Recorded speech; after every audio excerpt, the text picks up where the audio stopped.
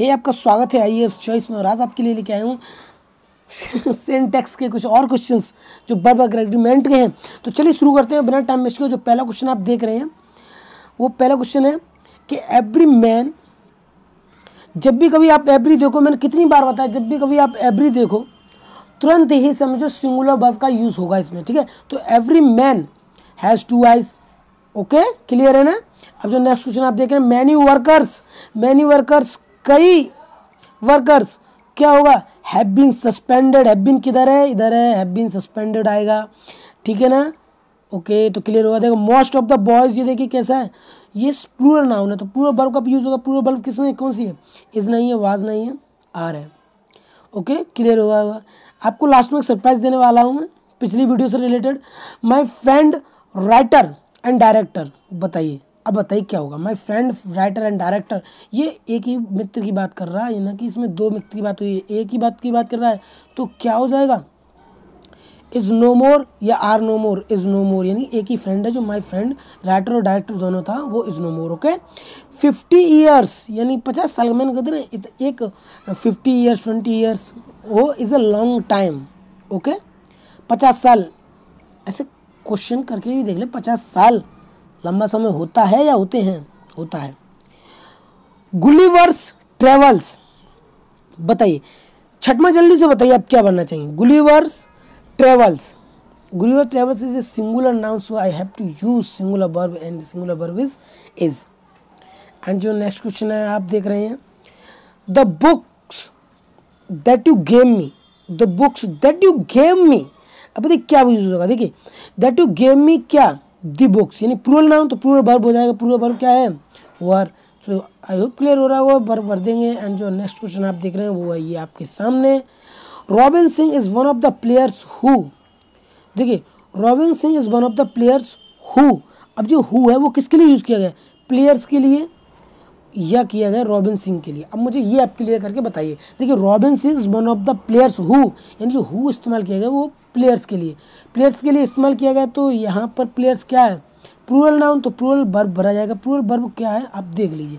Been है तो have का यूज़ होगा, यानी have been selected for the best test okay and जो नेक्स्ट क्वेश्चन आप देख रहे हैं प्रवीण रेदर देन अदर्स ठीक है? देखिए, जब भी कभी रेदर देन या सोचिए, और भी होता है ना rather than as well as होता है? ये वैसा ही कि अलग है, इससे बताइए। वैसा ही है कि अलग है?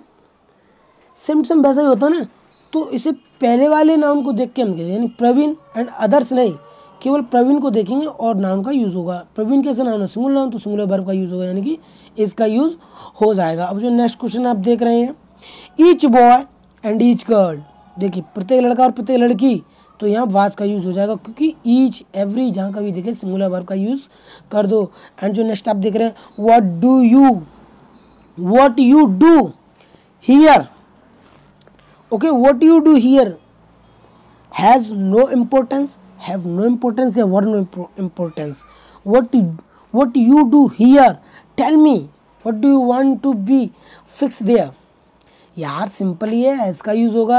एंड जो नेक्स्ट आप देख रहे हैं the rules of cricket is too easy to understand या are easy to understand या has easy to understand या was easy to understand what do you want to fix there and uh, what is your answer यार ये the rules की बात हो रही है जो कई रूल्स हैं यानी कि प्रूवल नाउन तो प्रूवल वर्ब आएगा वो क्या होगा आर क्लियर अब जो नेक्स्ट क्वेश्चन आप देख रहे हैं हिज हेयर उसके बाल कई बार बताइए इसका प्रूवल नहीं होता है ठीक है ना?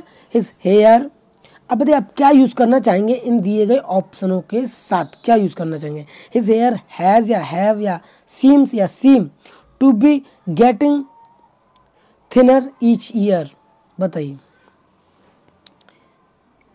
देखिए हैव या हैज़ का यूज़ तो होने से रहा। अब सीम्स ये सीम देंगे क्योंकि यही फिक्स हो रहा है ना?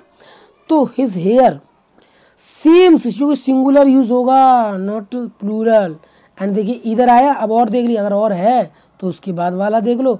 अगर और नहीं होता तो सीधे सिंगुलर यानी आइदर और योर आइदर योर ब्रेक्स और your eyesight is at fault या are at फॉल्ट या were at fault या none of these. What do you want to fix there? Tell me. यार is simply is because of this is singular. And you have to singular verb use, okay? देखिए, अब जो देखिए a variety of pleasing objects a variety of pleasing objects क्या use करना चाहेंगे आप, बताइए? A variety of pleasing objects बोलिए, आपके सामने ऑप्शन दिए गए हैं। A variety of pleasing objects आप क्या यूज़ करना चाहेंगे? तो यहाँ होगा, देखिए the variety a variety of pleasing objects okay तो यहाँ यूज़ करना होगा हमें charms okay because of singular noun and singular verb and जो नेक्स्ट क्वेश्चन आप देख रहे हैं good news is come today या आर कम टूडे या हैज़ कम टूडे या हैव कम टूडे बताइए। हैज़ कम टूडे क्योंकि आ चुकी है। अब जो नेक्स्ट क्वेश्चन आप देख रहे हैं the French have come to India has to come to India are come to India या none of the French the French की बात हो रही है, यानी कि बहुत सारे फ्रेंच लोग फ्रेंच के जो लोग हैं, वो बहुत सारे। तो ये प्रूल नाउन होता है, इसलिए हम यहाँ प्रूल वर्ब का यूज़ करेंगे, वो होगा हैव अब जो देखिए ब्रेड एंड बटर ये वही नाउन है जो एक ही सेंस देता है, यानी कि bread and butter is a wholesome food okay इसका यूज़ हो जाएगा सिंपली कोई दिक्कत ही नहीं है इसमें तो। एंड जो नेक्स्ट आप देख रहे हैं, वो आपके सामने help the boys who who किसके लिए इस्तेमाल किया गया? बॉयज़ के लिए। तो बॉयज़ कैसा है? प्रूल नाउन तो प्रूल नाउन के हिसाब से क्या बनाएगा? यहाँ आर का यूज़ हो जाएगा डेफिनेटली अब जो नेक्स्ट आप देख रहे हैं a pair of scissors the pair of scissors एक जोड़ी पेजर ऑफ़ सीजर्स एक जोड़ी सीजर्स तो ये कैसा आपको लगता है? ये क्या है? बताइए प्लूरल है या सिंगुलर पहले आप ये डिसाइड कीजिए। तब मैं आपको बताऊँगा। ये पेयर ऑफ़ सीजर्स है यानी ए है। यानी कि एक है सीजर्स की जोड़ी। तो क्या आएगा? सिंगुलर बर्ब तो यहाँ इसका यूज़ होगा और जो सरप्राइज़ था मैं बता दूँ। देखिए कल मैंने एक आ, सेट कराया था। उसमें ये वाला क्वेश्चन था।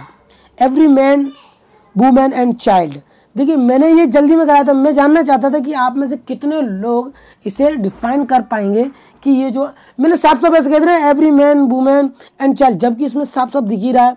Every man women and child प्रत्येक बच्चा, औरत एंड आदमी हैज़ गिवन मील यानी वाज गिवन मील इसमें मैंने भी लगाया था। मैं जानना चाहता कितने लोग इसे पकड़ पाते हैं। लेकिन सिर्फ़ और सिर्फ़ एक ही लड़के ने मुझे बताया। एंड मैं आज आपको क्लियर कर दूँ, क्योंकि देखिए, ये every man women and child यहाँ तो सीधी बात है कि सिंगुलर बनाएगा सिंगुलर क्या है? वाज अब ये मैं बता दूँ, ये सेंटेंस जो है, वो पैसिव में है। कैसा है? पैसिव में है। तो जैसे ही मैं गलती करता हूँ या कराता हूँ, आपको ज़रूर बतानी चाहिए, तभी तो आपका फोकस मुझे पता चलेगा ना। आप ऐसे ही फोकस रहिए और कंग्रेचुलेसन जिसने भी बताया, धन्यवाद आपका।